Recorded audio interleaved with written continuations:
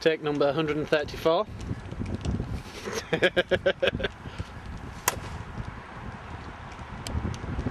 Oh, That was- good. Was that close, Pete? Closer than a close.